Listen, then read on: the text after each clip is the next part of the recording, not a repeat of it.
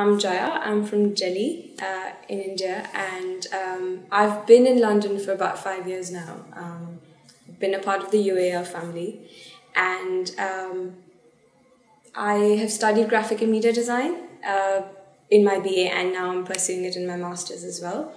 I'm really, really interested in um, image and text relations, and I'm really, really. Um, I look forward to like reading about theory and I inform it with my practice. So I think um, the way I work is it's like an amalgamation of theory and praxis, essentially. And yeah, I really like graphic design. right, so for uh, Tell Us About It, I made um, a book, a publication that spoke about my memories, my lessons learned, and little quips and bits from my experience at LCC, which was brilliant. I loved my time at LCC. And uh, what I thought to do was I split it across five senses. So I had smell, touch, um, sight, and things like that. And um, I just sort of put things that I missed and I remembered into them.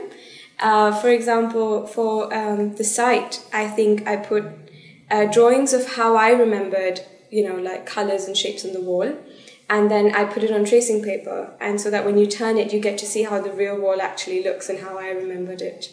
And for one of the smell sections, I, I made like this uh, small picture for ketchup, mustard, and mayo, because I swear the canteen literally smells of ketchup, mustard, and mayo all the time.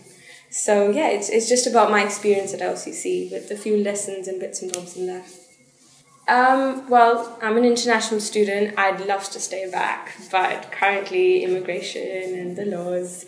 So I think I'll have to go back for a while, and then I I do want to come back. I had no plans of leaving London, to be honest. So right now I'm looking for a sponsor, but um, apart from that, uh, I think I would love to come back and um, work here because I feel like I've been trained here for five years, so I'm ready for the industry here and uprooting that into you know even though it's my own culture but uprooting that back to a different culture different space does affect the way you work and things are different. But um, that's something i'll have to do so i'm taking it in my stride for now. Yeah um, i'd say that as as ridiculous as it is while you're while you're in uni definitely start interning side by side start picking up part-time work because it's only if you've consistently worked for a company for like six months can you approach them going like sponsor me now. They're not going to look at you for a one month intern they're not going to sponsor you. So it's really hard to do that while you do ba because it's a full-time course and it's quite intensive. But um, if you want to stay back and you're an international student especially from like uh, a poc minority culture you really really really have to um, work extra hard. And you know the two month holiday internships are not enough. You need to just keep at it side by side and look for sponsors and beg them. oh yes, definitely. So there's one of my favorite magazines. It's called Hole and Corner. Hole and Corner, like oh, hole and corner. Okay. And uh, it's an art and creative magazine. It has architecture in it as well. And I just really like the aesthetic. I like how they deal with it. And their viewership is, I mean, middle class and above. But um, I just, you know, the, the visual communicator in me just loves their layouts and their image treatment and everything. So I'm, I'm actually going to intern with them and I'm hoping to beg them to just sponsor me because I'd love to work for them forever. Um, so yeah, but otherwise there are there are companies that do sponsor you, but it's just really hard to get in. Even Pentagram is a sponsor, but it's just really hard. um, there are many creative that creatives that inspire me, but I think the easier way to put it is when I'm when I'm learning, when I'm creating something, the people I refer to, because I refer to projects that are related to mine that would have like um, you know some kind of relation with the subject or a context.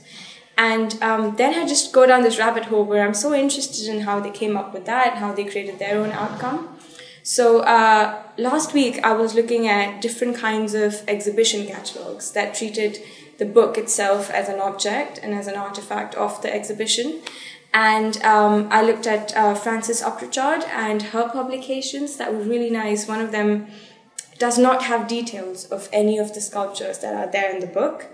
And they're, um, you know, the colors of the rainbow, she sort of organized all the sculptures by color and uh, it's the end pages that just have the printing details. And you just sort of it, it's almost like the book has a personality of its own and you kind of have to interpret the work on its own. It's a really nice book. It's called every color by itself in case you want to look at it. But uh, yeah things like that. It's just books printed media basically